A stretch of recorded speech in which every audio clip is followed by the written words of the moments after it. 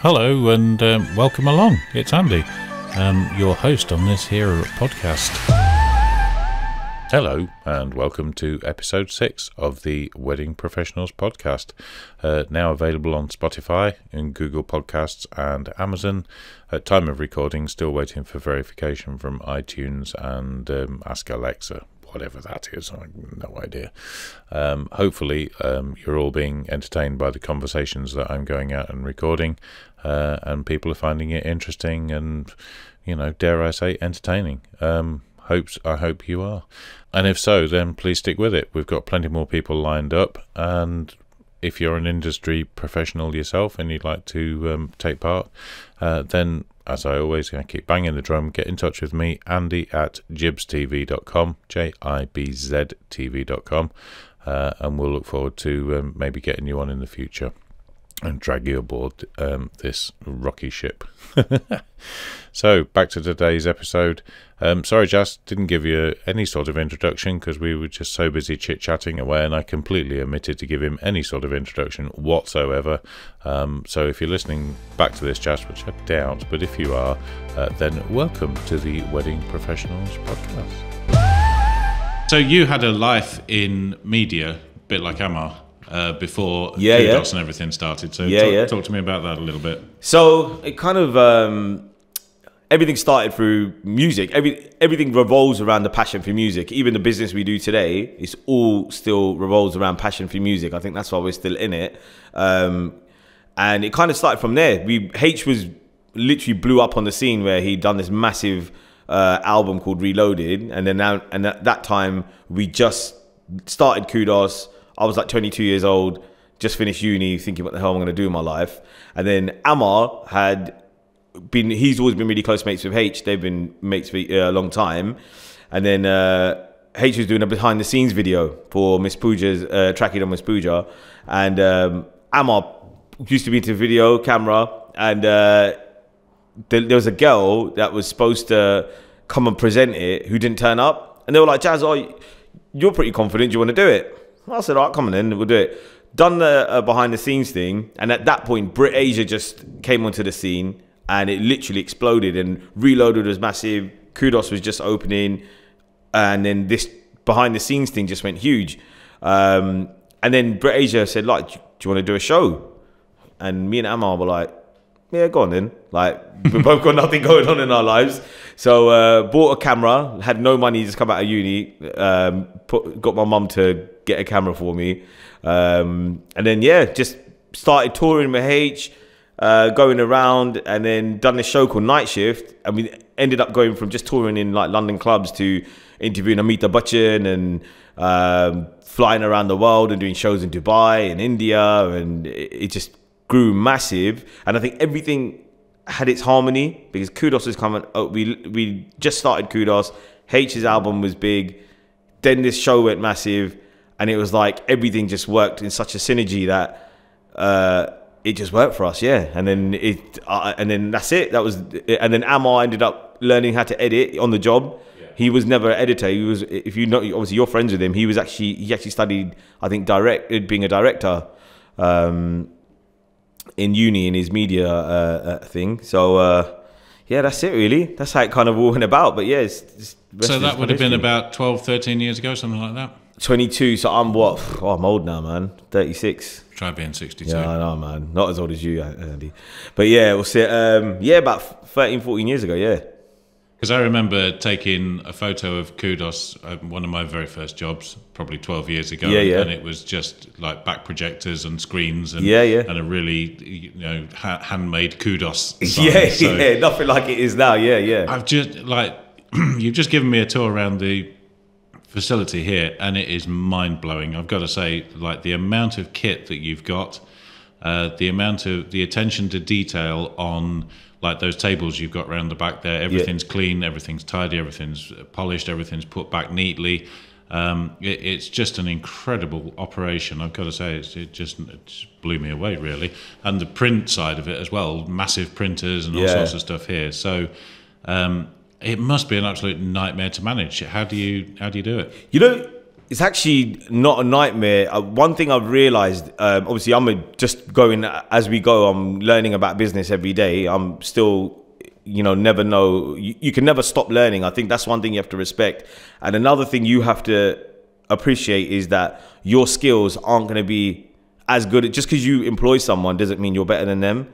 Their skills you have to respect. So, yeah, you employ someone for that area, but I actually you yeah putting the infrastructure together was really hard like in terms of getting the systems in place and and understanding the kind of logistical side of getting everything working together and all the cogs to work together. But the team we've got make it not difficult. Like some of the people we've got in this team like we're like a family so um, they all treat the business with the same love and ownership as myself um, and it's not it's actually not a hard thing to run how many people do you actually employ then? So before COVID, we were 44 staff. Um, we are less than that now. Uh, I think the problem at that time was we were growing so quickly and we were so um, unaware of, you know, we're just throwing manpower at things because things were coming at us so quick. Like, oh, add print, add this, add that, add that. And we were troubleshooting so much, trying to manage everything. Um, we grew into this animal that was actually uncontrollable at the time. And weirdly enough, as much as the events industry got hit really bad, uh, COVID was a blessing for us. Like literally enabled us to take a step back, reassess the whole business, and think, okay, we're um, overstaffed. We're basically doing things for nothing, um, and we need to be a bit more selective about firstly who we employ, and secondly, um, getting a culture of oneness in the company because what happened as we were adding aspects of the business like we started off as an AV company added workshop added print the print company was like oh but that's not my job they're in uh, they're in design no that's not my job they're in uh, carpentry that's not my job they're in this so I don't want that when we came back from COVID. I was like, guys, if you work for Kudos, you work for Kudos. You don't work in your workshop. You don't work in your print. We load the vans together. We unload the vans together the fight is between all of us to get things done. When you're doing four days in a row in the middle of August, when it's scorching, unbearable heat, I want all of us to pull together and do it. So COVID en enabled us to bring back the core people that we wanted to keep, um, and now we employ, I think, about on full-time staff, I think about 22. Uh, but obviously now we have a lot of casual, not casual, but like freelance work, but really good freelance workers that understand and are quite involved in our business. So on a weekend, we could have 200 staff working for us okay. week on week. So it's very, it, it's become more about more freelancers and a good pool of them that are also passionate about. That you can know and, and yeah. trust to um, to do the job yeah, right. Yeah. I suppose. Yeah. Um, just looking on the um, Kudos website, uh, I think I counted 17 DJs. Yeah, I think so. Yeah. So AJ, uh, AJD, Ammon K, Amraj, AmXN. Ammon, yeah, yeah. Oh, these new kids with the RV, Chunks, obviously no Chunks. Uh, H himself, uh, Haj times two. Yeah. Harv, my favourite. Oh, really? Is yeah, he? Yeah, yeah my oh, favourite. Right. Yeah, Harv is the top. Who does the love Harv? Manny, Rajiv. I was with him last week. Yeah. Um, Motorcycle museum. Yeah. Yeah. yeah. Uh, Sam Taj and yourself. So, how do I become a DJ? Can I just? Like, Andy, you're up? part of the family. You're. I don't know if anyone knows, but Andy is our uh, grandfather. He's my. I call him uh, grandy as well, just like his own grandkids. He's on. He's our on-site white dad. that tells us off. So, how do you get to a stage where you've got 17 DJs, and how do they uh, maintain the Kudos brand for you? So, I think uh, that everyone, like you see the guys on the road, Andy, yeah, yourself, you're the other side of it. I'm obviously not with the boys when they're on gigs because I'm at my own gigs, and I think you could probably play testament to the fact that they all do a really good job. All the with the brand with a lot of respect and I think a lot of people understand that. Like now, you've seen the effort that and the premises and what we put together. I think people have to respect what we built here and what we created. Um, and I think the boys are really, just like myself, are really grateful to be part of this entity that's like a um, a very pioneering and forward thinking business. That's our main goal. Um, and I think the boys respect that. And I think that's why they are um, really kind of appreciative of what they're part of. And when you go into a venue and people are like, "Oh, what company you from?" and it happens to me every week. "Oh, we're from Kudos." "Oh, right, yeah, yeah." But if, like people know who we are, and that happens around the world, not just here. Um, and then also you have to remember, I get every DJ asking me to join this company every week, and I can't take on everyone. Uh, not just because we're being arrogant or anything like that, but um, again, like the synergy amongst the staff. I've got a synergy to protect amongst these boys where, you know, 17 DJs, there's not always 17 gigs. And it's just like a football team, you know, everyone wants to be on the team sheet first, you know, but not everyone can be Ronaldo. So you have to kind of remember those things as well. But the boys are wicked. And there's a good level of a kind of a younger team and an older team. And I think they've got a really good respect for each other. Right. So uh, you were talking there about um, Kudos being known worldwide and obviously we did uh, Kenya together. Um, apart from anything, you know, we've done a few abroad as well. Mm-hmm. Uh, but Kenya was probably the most notable one because the screen that you took was absolutely massive. Yeah, yeah. So, uh, did you ship all that stuff out? I mean, the dance floor, all the printing, everything, or, or so we it- did anything that was kit, like in terms of technology. We hired from South Africa and a lot of surrounding companies. There was a really good AV company in Kenya that the family we helped the family find that had a lot of similar kit to us. Uh, it just didn't make sense to ship all our kit from there. Um, but we did all the LED screen we got from a company called Absen. So uh, we invested into a brand called Absen who told us, oh, look, this other company in South Africa has got exactly the same kit as you. So that kit got shipped in from South Africa to Kenya. But everything in terms of dance floor stages, um, build, print, we took six containers from here.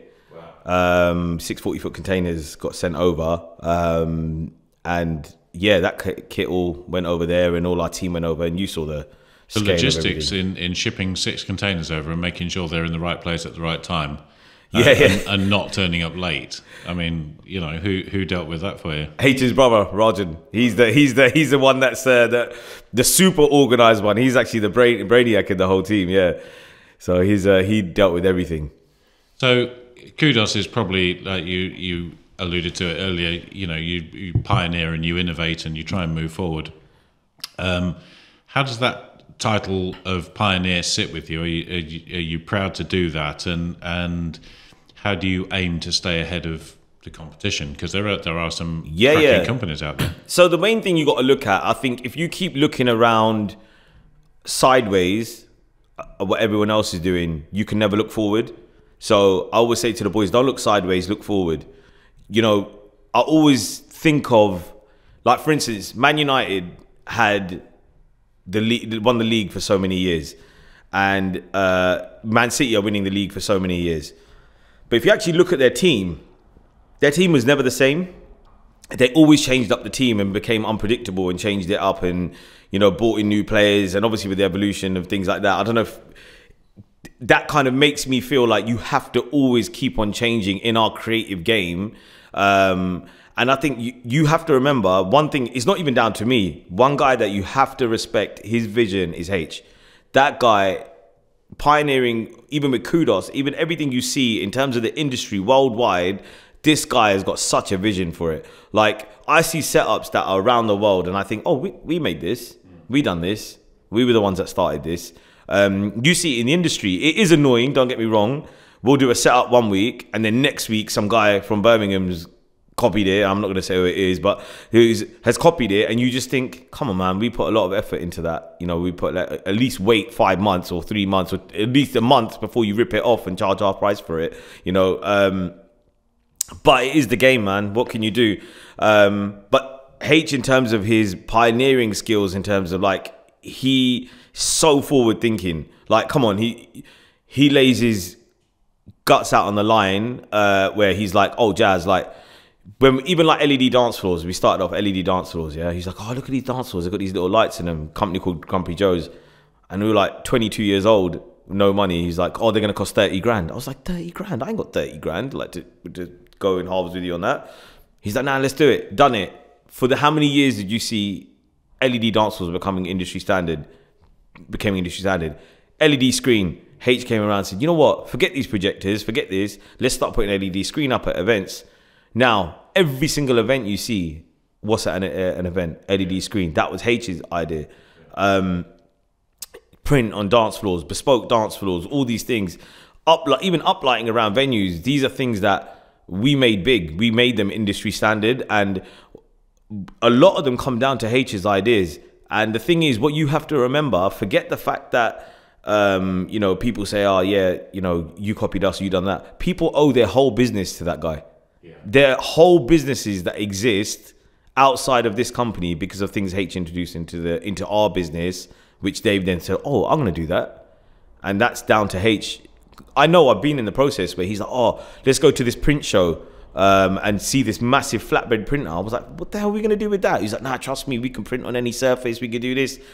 And then now you see print on dance floors everywhere. Yeah. Not in just this country. I'm talking all around the world. So you got to give it to that guy. I got to give it to. Sometimes I sit back and I think, how did your mind work? You know, it's actually sometimes I'm. I feel like yeah, I'm blessed that you know we forget that he's my best mate. The fact that we're business partners because the guy's just so forward thinking. Yeah, yeah. So um, you were sort of saying as we were going around that weddings are probably not accounting for most of your uh, mm. turnover these days. So in terms of event production. Um,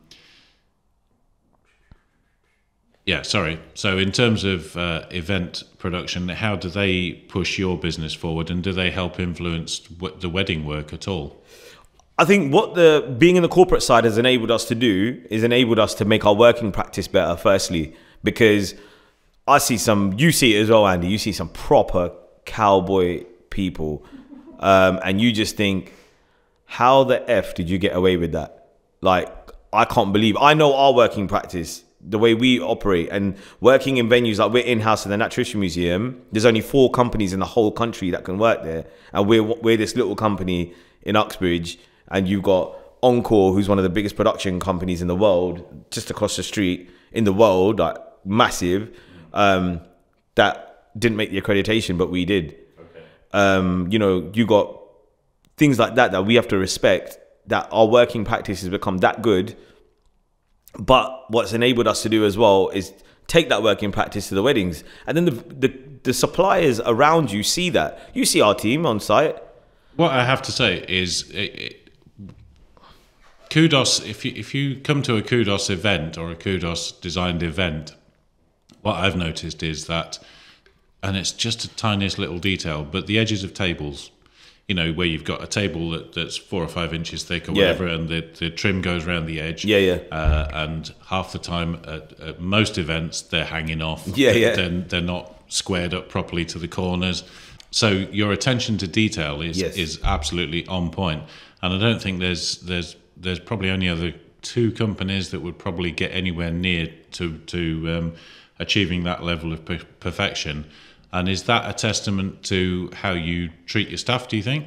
I think it's come down. I look. The main thing you got to remember is it's not about treat your staff. It's about respecting the craft you're in.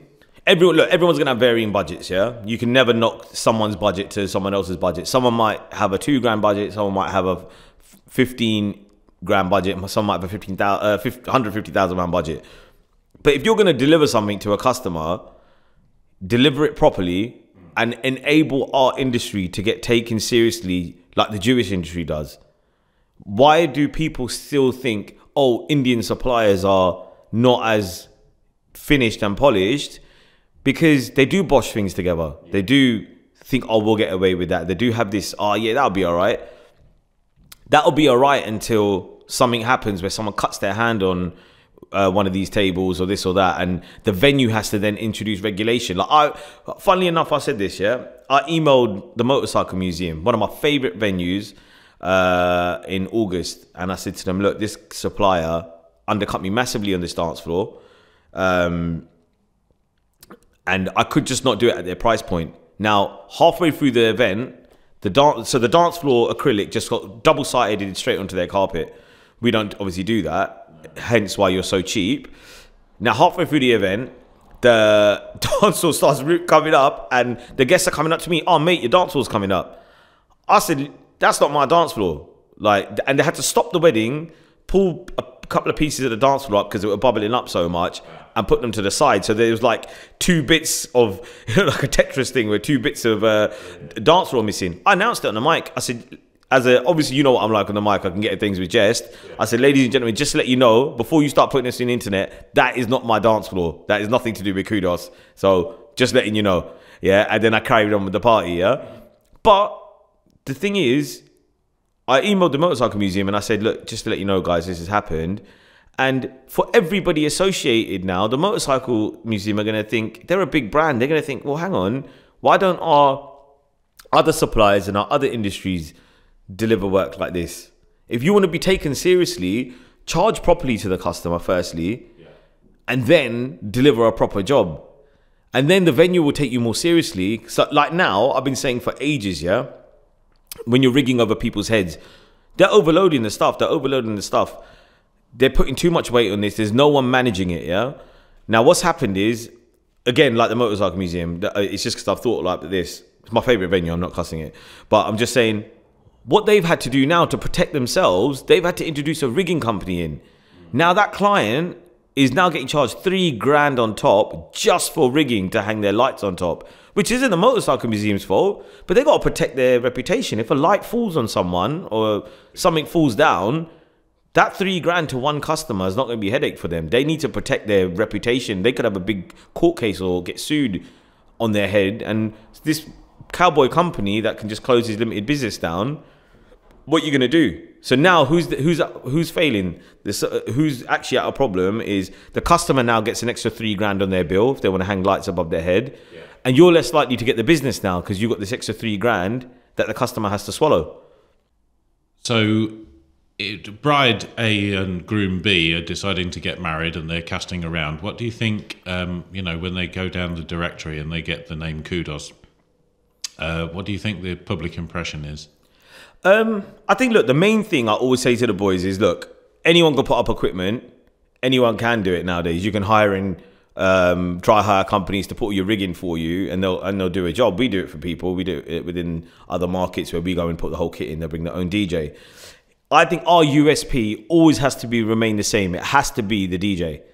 The point of contact comes from I want Jas Johal to do my party. I want DJ Harv's big smile at my event and doing my event. I want H's charisma at my event. I want Rajiv's mixing style at my event. It comes from that point, uh, kind of point, and I think that's our USP. Because I always say to everyone, yeah, the only people that experience your wedding with you is the DJ and the cameraman. No one else experiences your wedding with you. The caterer's in the kitchen, the decorator's gone home, your cake person's gone home, your uh, makeup artist has gone home, your car person sitting outside, your coach person sitting outside. The only people that actually go through the whole wedding with you is your DJ and your cameraman. And in order for your cameraman to have create this amazing video for you and get really good shots, your DJ's got to be good. We're the only two people that experience the wedding. That's true enough, yeah. No one else does. Tell and you know when people say, "Oh, you know, put your bar here or put your DJ to the side." I say, "Well, the decorator doesn't know about your event. They go home. Yeah. He's got his feet up watching Match of the Day or whatever while we're doing your event. So how does he know what your event's going to be like in the nicest way possible? Yeah. With me and you are there, Andy. Yeah, yeah, absolutely, we are. Yeah. Um, Manny Pablo sent a question. Oh, did he? He did. Why am I taller than him? Not really. I don't know actually. the are, two most talented men in, in, the industry, Manny, we're both short. His question You've been described as a master of your craft, blending various genres and styles to create a unique atmosphere. How do you keep your sets fresh and engaging while still catering to diverse audiences? Um, so, uh, going kind of repeating a little bit what I said before, the DJ is the main thing, yeah? Yeah it comes from the passion of music. Like for us, yeah, you got to remember, and this goes across the whole Asian wedding industry, and just not my my DJs. Like this music knowledge is next level. Like you got to think, yeah, if you're, uh, I don't know, um, DJ EZ, garage DJ, your amazing garage DJ. What's your speciality? You're known for is garage, yeah. You and then if you're, um, I don't know, uh, a hip hop DJ your speciality is hip hop, you're a house DJ, your special. Our guys need to know everything. Think, yeah, if you're doing a wedding where it's a mixture of this, our boys at a wedding, yeah, we'll play. We can play old school English music. We can play new school English music, which includes of hip hop, garage, house, R and B, and know it all. Then we've got Bhangra music, which you got to know all the uh, all the ages from back in the day, the the different styles of Bhangra music. Then Bollywood, you got to know this Bollywood music, that Bollywood music, Tamil music. You need to know. I done a wedding, a Nigerian and uh, Punjabi mix.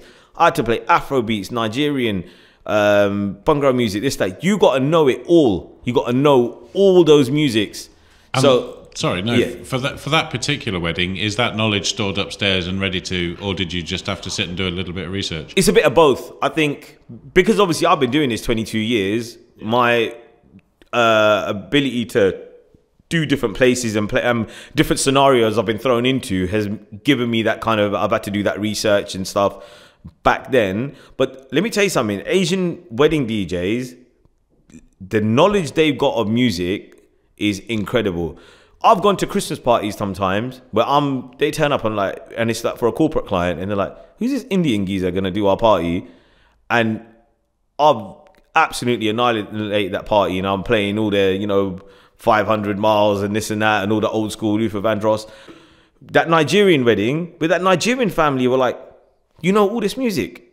And the boy, I'm talking across Caliber, Ritzy, um, musical movements, us guys, Paragon, all of the DJs can play everything. Yeah. And people don't give themselves enough credit for how good they are.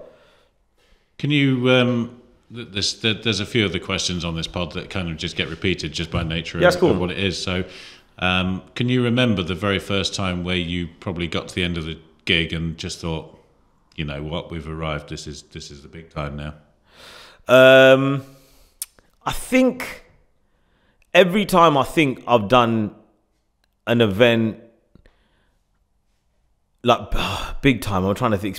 So, all right, let me let me put it in perspective. I think I've done weddings at Grosvenor House that have been the most incredible productions I've ever seen, and I think you might have done one with me. It was like a long where they set up the room long, quite a few years ago, and the party just didn't happen. Okay. The family just didn't have the love in the room that was enabled it to be a good party.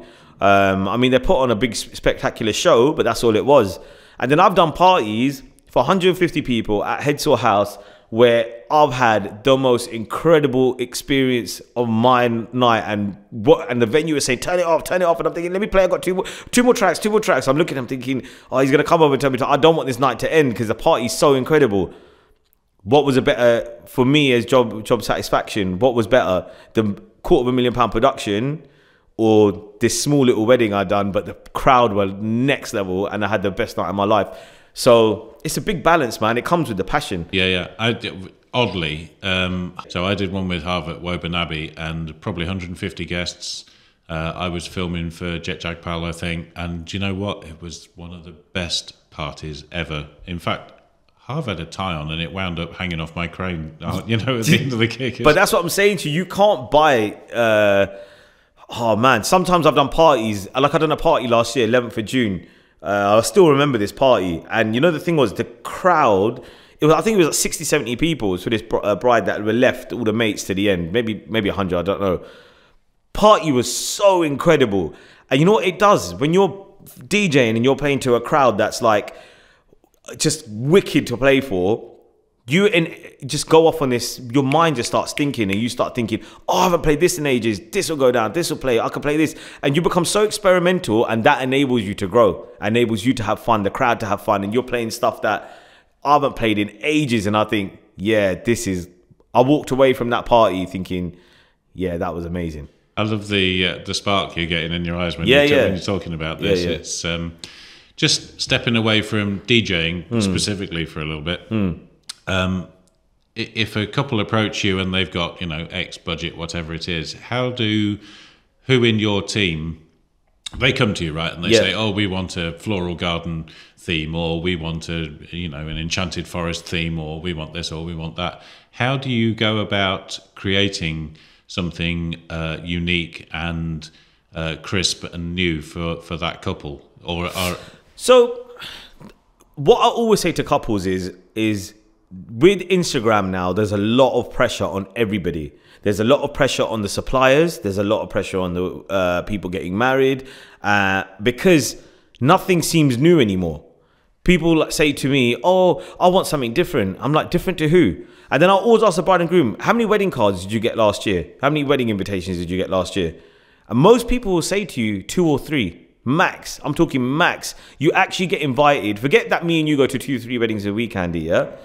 How many weddings did you get invited to? And your network's huge. You're a known guy. Yeah. How many how many events did you get invited to last year? Like weddings, maybe two. Uh, what as a guest? Yeah. one. One, right. Most people get invited to two weddings a year.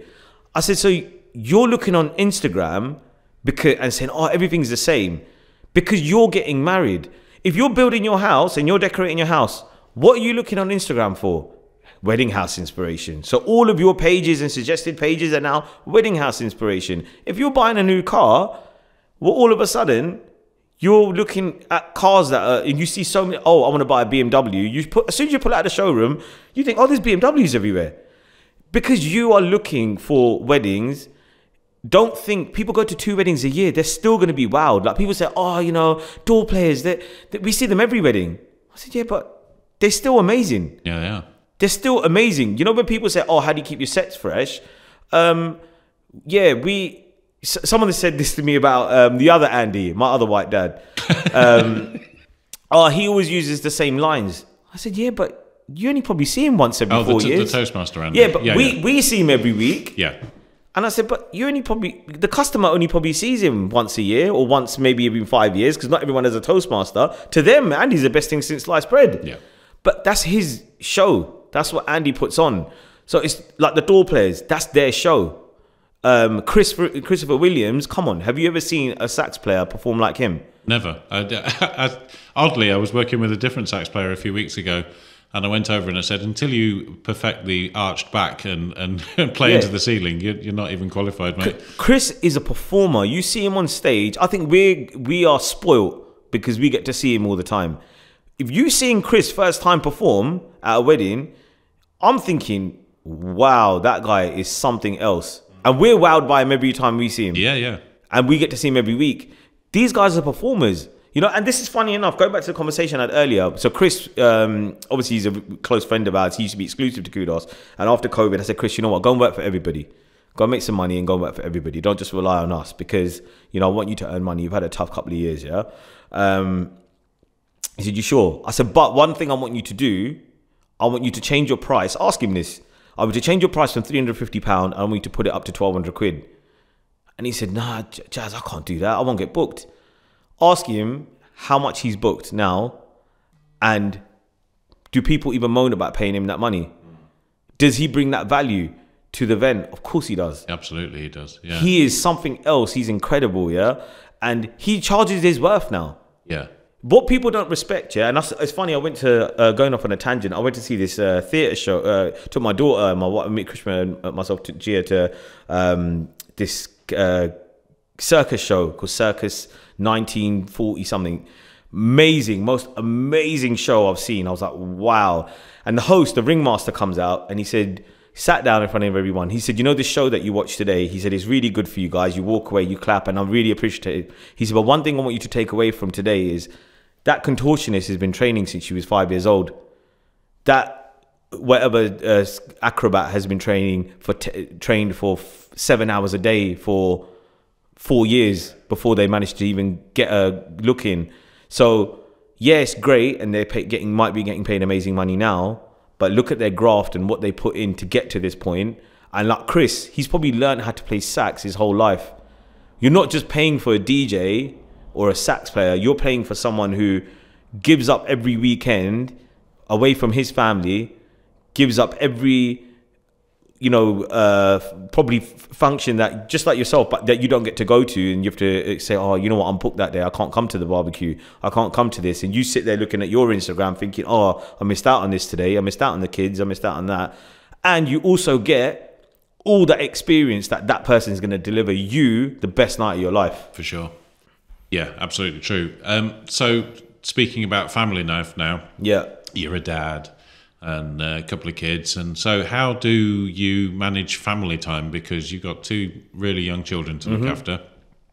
Um, your very beautiful wife, Yeah. uh, and you're gadding off around the world, going to Ibiza or or Delhi, or Just cut this part. No, yeah. so I think one thing I've got a little advantage on is that um, Krishma's in the wedding industry as well. So all my friends that I come and talk to her about, let's say I saw, oh, I saw Andy on the weekend, or I saw Didar Verdi or Amma, and we were just talking about this. She knows exactly what I'm talking about because you're friends with my, with Krishma yourself. Like you guys got your own mate, your your own mates. So she feels like they're my friends as well. So when I and she understands my industry and because our time schedules are similar. Um, so yeah, it's I'm a little bit lucky on that respect that she hasn't got a nine to five Monday to Friday. Yeah. and her only time off is during the weekend. So that I am a little bit blessed with that. But I think with the kids, um, you find the energy. Like last night, I got home at what 1.30 in the morning. Gia's bouncing around at seven a.m. But for some reason, you just don't feel tired when you see the smile walk in your room. Yeah. Absolutely, yeah. Do you think you're where you want to be within our industry, or is there bigger and better things to come? I think as long as we grow as a whole industry, uh, one thing I would like to do is see regulation in our industry. I think that why are we not a regulated industry? Talk to me. Yeah, I mean, like, for instance, yeah, every single industry is regulated, and I see it within the corporate world because we're in that corporate world. There's no actual handbook of how to deliver a job, and I always say so. I, with a customer, one thing you have to do, they're not protected by anything. A customer's not protected. You're handing your money over, and we're talking thousands and thousands of pounds to clients and suppliers. And on the day, you just got the risk. If a builder comes to your house and bodges up your bathroom, you can tell him to knock it down and redo the bathroom, or phone another builder and say, "Look, this really crap builder messed up my house." But if you're booking a supplier that's showed you a really good Instagram page, which if you're no not like a no uh, like a not a a newbie to this and you haven't had previous experience with suppliers or recommendations, you're just trusting that person and what they're showing you on a laptop and telling you what they can deliver. Yeah. Yeah. Now, I think the issue you've got, you're spending. This is how we brief our staff. Yeah. Once you've had the caterer, the venue, the decorator, the DJ, the outfits, the cake, the makeup, the this, the that, the this, you're spending hundred grand on a reception. But the videographer, photographer, this, that, 100 grand, you add everyone's bills together, yeah? Now, most weddings, what time do the guests walk in in an evening reception? Seven o'clock. Yeah. And they leave at one, yeah? So you got 8, 9, 10, 11, 12, 1. Six hours at 100K. So what's that, about 15 grand an hour? Yeah? 15,000 pound an hour you're spending on your venue, on your event, yeah? And some people are, like, oh, you know, we, we only ran 20 minutes late. I only ran half an hour late. No, you, you just cost the customer seven and a half grand. So That's a very valid point. I'd not thought of it in those terms. Yeah, actually, so you just you're better off spending on the better supplier that's going to staff your job properly, deliver your job properly, and have a proper team to come in and do it because it's a false economy. Saving your two grand from the next guy. How many events have me and you been at and someone's not ready? Yeah. And you're standing there waiting for them and you can't get your room shots and we're all standing there and you know Shirley from Ragamamas is going mental because the event, uh, because she wants to get her guests in because we're messing up her time plan now for her food um, and this supplier is not d- delivering their job, there needs to be some regulation. I really thought that the Asian Wedding Association was a brilliant, brilliant idea. It just wasn't executed right. Okay. Um, I approached the DJs and said, "Look, let's do a DJs association," but no one wants to commit to better pract- working practice. So where your dancers are laid better, your cu- customers are been given a better product, but unfortunately, you're going to have to charge a little bit more. But you're actually giving the customer, this, they're not spending more money. They when I said they're losing that seven grand or six grand if you're 10 minutes late, they're not spending more money. It's a false economy. Well, it because you know you buy cheap, you buy twice. Generally, you know, if you buy a piece of it, if I buy a, a cheap tripod, uh, six months later I've got to replace it. Because Exactly. it- it well, the thing is, you apart. could rebuy that. A wedding, you get one shot at it. Yeah, that's true. Yeah. This is my whole point about the builder thing. Yeah. As you look around the industry, is there anyone else apart from H? Because you're just Hmm. going to go to H for this, but is there anybody else that, that properly inspires you? Oh, there's loads of people, loads of people. You got to look at. for instance, like people like Sanjay Anand, yeah, created the industry for everyone, made us more serious. We were, I, I've been in this since we were doing school halls, since we were doing leisure centers, and weddings in a hotel were uh, a big deal. Like to do a wedding at the Radisson Edwardian on Bath Road was like wow. Yeah. At the Thistle Hotel in Heathrow, wow. Now the Thistle is not considered a desirable place to do like a for a big wedding. It's more like a pre-wedding a place, yeah. But you got to give it to the guy. He is an inspiration. The fact that he is an MBE or whatever, yeah, he deserves it. He created an industry. You got to look at creators. Zibby from uh, Dream Occasions, yeah come on, you got to give her her props. Things that she does change the whole industry. She comes in, and I remember she did the centerpiece at my wedding. Yeah, it was like a tall thing with a big circle on the top. That changed the whole game. She come and done that. You know, she's she's the pioneer. She's got an idea for it. But there's so many people like that. There's just two people that come to mind. You know, like they allowed us into the access to the wedding. The weddings taking us into the hotels, yeah, and changed up the game for us. Zibby's changed up the decor game. H has changed up the um, the DJ game. Even Suki from Caliber, they're one of my main competitors. I joined his company, but he was a professional outfit. The lessons I took from him, I'm actually grateful I ended up at Caliber. I, I never look at that journey and think, oh, you know, Caliber, they're my competitor. Nah, he was a professional guy. He tried to run it as a professional outfit, which we took our lessons from as we were part of them, and then made our own company. Not because we hated being part of him, we just wanted to do our thing. Yeah. Um, but yeah, he he got to give it to him. The guy ran it as a proper business, and he's long he's st- stood the t- uh, test of time. Um, you got to yeah, you got to look around and think that these people have done a good job, and they've inspired loads of other companies to exist. What would you say is um, looking back across all the thousands and thousands of weddings that that uh, you've done, even without me being there? Um, what's the pinnacle? Um, what in terms of production or just Yeah, just overall, you you. I've got to say this right. Uh, the Candola wedding a few months ago. oh next level? Yeah, I walked into that room um, and I said to Ricky, "It's not often these days that I walk in a room and go, bloody wow." yeah, But that was one of them, and that's so unusual these days to walk for because we we all sort of get jaded with seeing this, seeing the same tables, Yeah. the same centerpieces, the same this, the same that, in a different, uh, you know, just in a different order Yeah, or yeah, yeah. whatever. But that room, uh, and H was there, kind of overseeing everything, just Yeah. making sure it was all it was all good, uh, and it absolutely blew me away. It was fantastic. So Yeah, yeah. you know, is is there one that you look back at? I don't. You weren't there at that one, were you? I think every stage enables you to push to the next thing. You know, like when we first released our first rig with the two plasma screens and the two projectors, we were like, "Whoa, this is look at that, we're kudos." Like, but then you got to evolve. You can't just hold on to that. The next thing is if you. I always believe if you focus on the customer and what the customer and creating something cool for the customer, you'll still grow your business your your your growth comes from the desire and passion to deliver something new and um, Innovative. innovative. I know I hate that word, but innovative for the game. um, yeah, sorry, I just because everyone's like, oh be innovative. Yeah, let's put that in our bio. Uh, but yeah, um, but I just think you know like th- to change up the game again.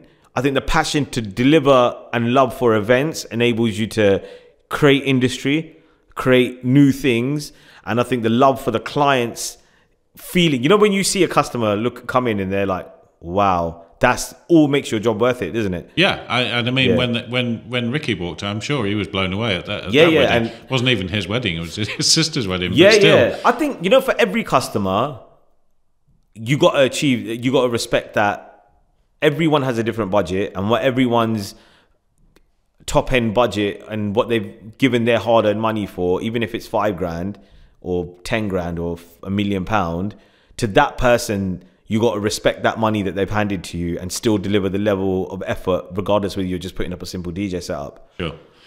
So, um, final question, which I've asked everybody, and you can't cop out by saying the same thing. Mm. Um, if I could give you the uh, tools, the skills, the knowledge to do any other single job within the wedding industry, what would you do? Um, that would be enable us to be this creative and fun. You know what I would probably do? I really enjoy cooking, so I'd become a chef. Really? Yeah, I love cooking. Like, I, so Poonam from Madhu's, over COVID, I think what she done because we weren't being able to DJ to get our kind of creative, you know, desire, like give me something creative to do. Yeah. we all went into cooking. Like H, and, uh, especially me and H and Chonks as well. Um, we kind of delved into cooking, and Poonam used to teach us over the phone and over FaceTime. Wow. And we used to have like cooking lessons with her, and she used to be te- ten. So now I'm like really into cooking. Like Krishma never cooks at home because she's just like, you know what, you love it, you do it. I, like, I I love cooking for the family, and like even my mum and my family will come over sometimes, and I'll cook. Even today, we got guests coming over later. I've been up since first thing this morning, prepping everything, putting stuff in the oven. Um, I think yeah, I th- I actually appreciate now uh, good food. It's funny. I had this conversation with Arjun the other day because Arjun's knowledge of food for uh, from Madhu's, his knowledge of food is so so big, and he was like um, talking to me about some uh, other dishes and like uh, just talking generally about industry stuff. I said the thing is, Arj, I said only now I understand flavor. Um, to me, a, a lamb curry was a lamb curry before. I don't know, it, tasted nice or it tasted bad. That's it. I said, but now you understand the palate. Like, for instance, I know, oh, there's too much salt or there's too much, you know, cori- not coriander, but there's too much garam masala or there's too much this or too much that. And I think, um, yeah, I think I'll probably would go into food if I, or being a cook or do something to do with food. Fantastic. I wouldn't like to do your job. I think you lot got the hardest job. no, it's easy. No, the ca- you have the gym. Oh, the gym's uh, the gym, the gym's got an easy job, but no, I'll give it. You, listen, let me tell you something. I done a wedding at the Fairmont a couple of weeks ago. Yeah, I walked in six o'clock, rolled in with my laptop. These boys, cameramen, they'd been there since the morning doing the makeup shots, the mund up shots, the turnaround, the this, the that, the reception. Then they leave. Yeah, you guys are the first awake and the first and the last home, and when the food came out, I always say to my lot, look, let them eat first. Because you lot have been on your feet running around and uh, you got to respect the cameraman. That, that doesn't work though because the drummers always get there first. Yeah, and they oh they've been on site for so long. Those uh those those dhol players, yeah. Listen, man. Uh, thank you so much for your time. It's um, I really appreciate you coming in on this bank holiday and just Sorry, uh, just giving me an hour of your. Just uh, so everyone know. Andy asked me first, yeah. I just longed him out of it. I'm joking. and I'm, I'm full of cold. So, so Andy, I want to ask it. you something back, yeah. Oh, sugar. Um, so you're in the industry of you know full of uh, varying suppliers. You get to see different things. What do you think the industry needs? What do you think it needs, or do you think that you know what we should just appreciate what we got? Higher standards. Yeah, higher standards is is the thing. Um, I did. I've done so many weddings where, uh, and you've sort of talked about this today as well. Um, slop dosh, that'll Mm. Yeah. do. That'll do. Um, I took a photo, and I do. I tweet Yeah. them because I'm I'm terrible, but I can't bear it. That somebody put a, a red carpet down, like a walkway carpet. Yeah. stains all over it.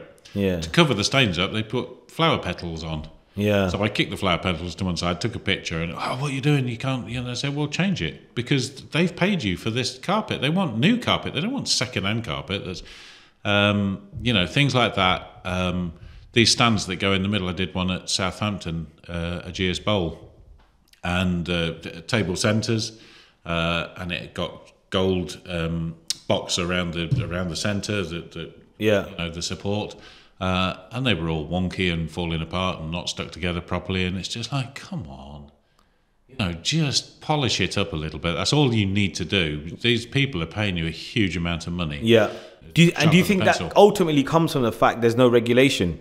There's no handbook of stuff. Like imagine, let's say, yeah, Jay and I, chanted by Sima, uh, the big big guns in Essential. Yeah, I, I, I'm just trying to uh, think of names. I'm not trying to uh, say anyone's better than anyone else or Dream Occasions or whoever it is. All the big guns got together the, the, and they formed a handbook and said, look, guys, you know, we're going to operate in this way. This is how you should lay a carpet. This is how you should do this. I should do that. Even the DJs, like I seen LED screen get hung up. Their counter support was their cases cable tied to the truss. Now, until the day that LED screen falls on someone's head and kills someone, it becomes viral. people are just going to keep getting away with it. But there's, there's always that one day that it happens. The trouble is, there's nobody to police uh, that sort of. You know, if you if you had that handbook on on how to do things, there's no one there to police it, and ultimately, um, it's like driving. It's like driving down the M1. There's going to be people doing 100 miles an hour, even though the limit's 70. But if we had, let's say, all the DJs, all the production companies came together and we said, look, guys, we're going to have this handbook that we all agree to, and we all do get this, let's say, DJ Association stamp. Yeah. And then when the customer sits with you, you say, "Oh, look, we're Oh, okay. we're, we're we're accredited by the DJ Association. Us, Ritzy, uh, um, Paragon, Caliber, all of us. We're we've formed this alliance. At least you've got that guarantee that this is how we lay our dance floors. This is how we put our lighting Yeah, up. yeah, yeah. You know, that's what I think we need. Yeah. We need, but no one wants to commit to it, and I, I just don't know why. Maybe we should. I think. Um, I think actually, yeah, it would be a good thing, um, like a quality seal. Like a, Yeah, yeah, definitely. Because the caterers have to do it. They have to go through Hilton accreditation. They have to go through all these accreditations where their food Say, Look, think how many people you're catering for. You got to make sure you got food, healthy, safeties, and all the rest of it. So they have to go through it. We should go through it as well. Anyway, we should change this to moaning with Andy and Jas. no, I'm joking. You put the road to light. Uh, put, Nah, nah. Listen, ultimately, I would say it's an amazing industry to be in. Um, I'm very grateful for the life it's given me, the places I've been able to see, and more importantly, the people I've become friends with. That includes suppliers and clients alike. yeah. Because we would have never been able to forge those relationships without this this industry. So you've got to be grateful for it. That's a great one to end on. Cheers, man. Wicked. Appreciate your time. Thanks. So there we go. Uh, 50 good, solid minutes of chat from Jas and um, some interesting points made, particularly in regard, I think, to um, generally trying to raise standards across the entire industry, be it DJs, decor, um, whatever the um, service sector is. Maybe um, sorting out some sort of um, code of practice, you know, that people abide by, and then get a little crest to display, yeah, you know, or some I don't know British standard, whatever. It's um, interesting, interesting, interesting. Any views on that? Please um, let us know uh, either on the Facebook page or just drop me an email, Andy at jibztv.com, J I B Z TV.com. Um, same email if you're an industry professional yourself and you'd like to um, take part um, uh, happy to um, welcome you aboard.